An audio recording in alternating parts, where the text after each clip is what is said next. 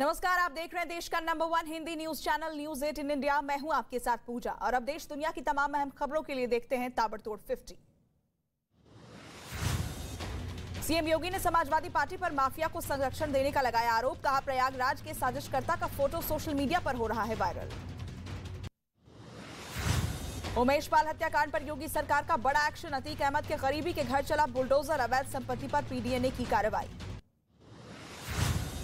प्रयागराज में बुलडोजर कार्रवाई के दौरान ज़फ़र अहमद के घर से मिली दो बंदूक, तलवार भी की गई जब्त।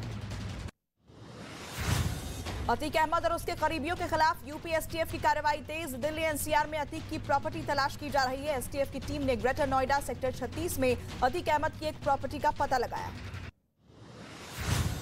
लखनऊ में अतीक के फ्लैट पर प्रयागराज पुलिस का छापा, बेटे असद की तलाश में दबिश। घटना के बाद फ्लैट में शूटर्स के रुकने की बात आई, सामने लैंड क्रूजर और बीएमडब्ल्यू कार हुई जब्त।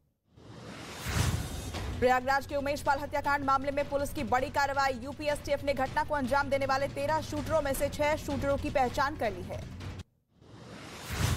अतीक अहमद की पत्नी शाइस्ता परवीन की अर्जी पर कोर्ट ने पुलिस से दो दिन में मांगी रिपोर्ट, दो मार्च को मामले की अगली सुनवाई।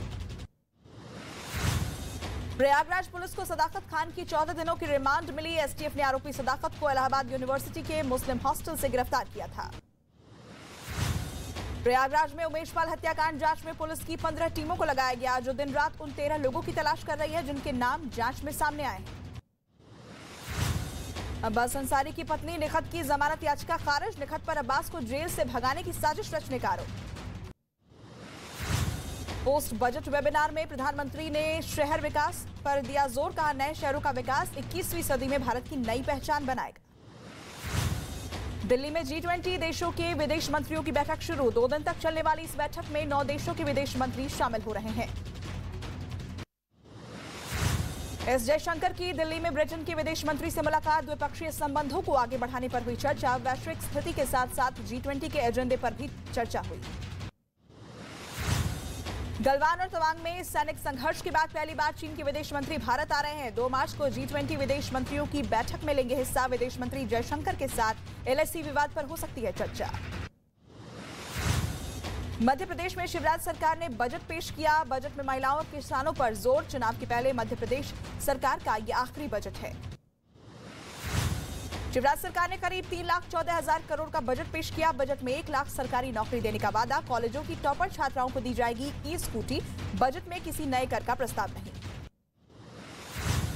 मिशन कर्नाटक पर बीजेपी अध्यक्ष जेपी नड्डा, चामराजनगर में विजय संकल्प यात्रा को किया रवाना। सीएम बसमराज बोम्बई और येदियुरप्पा रहे मौजूद।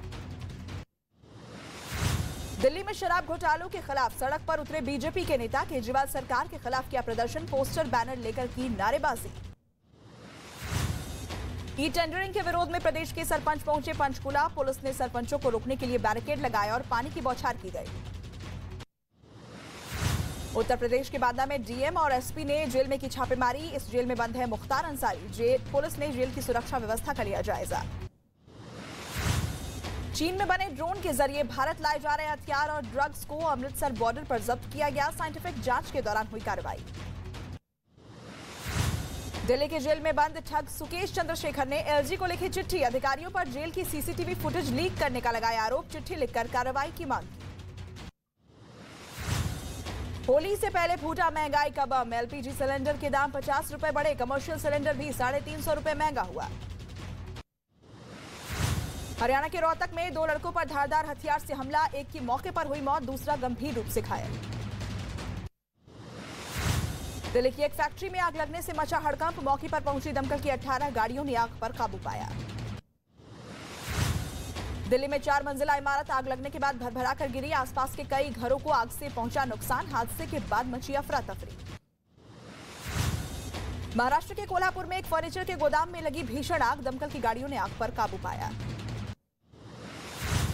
मध्य प्रदेश के सतना में एक टेंट हाउस में भीषण आग लगने से मची अफरा तफरी। आग में जलकर लाखों का सामान राख। उत्तर प्रदेश के प्रयागराज में हाईकोर्ट में आग लगने से मची अफरा तफरी। शॉर्ट सर्किट से आग लगने की जताई जा रही आशंका। वक्त रहते आग पर काबू पाया गया। उत्तर प्रदेश के हापुड़ में कार और टैंकर में हुई टक्कर। दर्दनाक हादसे में चार लोगों की मौत, एक बच्चा गंभीर रूप से घायल। उत्तर प्रदेश के इटावा में नेशनल हाईवे 19 पर बस और ट्रक के बीच टक्कर। हादसे में पाँच यात्री गंभीर रूप से घायल हुए। महाराष्ट्र के ठाणे में अंबरनाथ, बदलापुर पर दुकानों में लगी भीषण आग, खड़ी गाड़ियों के सीएनजी टैंक में हुआ विस्फोट। जम्मू कश्मीर के रामबन में बिजली लाइन की चपेट में आने से एक ट्रक ड्राइवर की हुई मौत, रेलवे परियोजना निर्माण वाली जगह पर हादसा हुआ। राजस्थान के उदयपुर में एक होटल में बदमाशों ने की तोड़फोड़, खाने का बिल चुकाने की वजह से शुरू हुआ विवाद, होटल में बदमाशों ने लगाई आग। उत्तर प्रदेश के मऊ में पुलिस और बदमाशों के बीच मुठभेड़। पच्चीस हज़ार के इनामी बदमाश समेत छह बदमाशों को पुलिस ने धर दबोचा। पंजाब के पटियाला में यूनिवर्सिटी में छात्र की हत्या के मामले में पुलिस ने चार आरोपियों को गिरफ़्तार किया। मामूली विवाद में चाकू मारकर की गई थी हत्या। उत्तर प्रदेश के बरेली में कुत्तों के झुंड ने बच्ची पर किया हमला। घायल बच्ची की इलाज के दौरान हुई मौत। जम्मू कश्मीर के डोडा में खुदाई के दौरान मिली प्राचीन मूर्तियाँ, पत्थर पर बनी हैं अलग अलग आकृतियाँ। लोगों ने मूर्तियों का ऐतिहासिक महत्व जानने के लिए पुरातत्व सर्वेक्षण विभाग के से हस्तक्षेप की मांग की। मुंबई के बाबुलनाथ मंदिर में मिलावटी दूध से अभिषेक करने पर शिवलिंग में आई दरार। आईआईटी बॉम्बे की शुरुआती रिसर्च रिपोर्ट से जानकारी आई सामने, शिवलिंग में दूधाभिषेक पर लगाई रोक। गुजरात के सूरत में होली के रंगों से गुलजार हुई बाजारें रंग बिरंगी पिचकारियों और होली के रंगों से सजने लगा बाज़ार। उत्तर प्रदेश के हरदोई के रहने वाले पर्वतारोही अभिनीत ने बनाया रिकॉर्ड केदारकाठा चोटी पर फहराया तिरंगा। हिमाचल प्रदेश के लाहौल स्पीति में बर्फबारी से खिली वादियाँ, सड़क पर दो से चार इंच तक बर्फ़ की परत बिछी, बर्फबारी की वजह से गाड़ियों की आवाजाही पर पड़ा असर। हिमाचल प्रदेश के शिमला में बर्फबारी से खूबसूरत हुआ नज़ारा। वादियाँ बर्फ़ से ढकी नज़र आई। हिमाचल के नरकंडा में बर्फबारी की वजह से बर्फ़ की सफ़ेद चादर में लिपटे पहाड़। मौसम का लुत्फ उठाने के लिए बड़ी संख्या में पहुँच रहे सैलानी।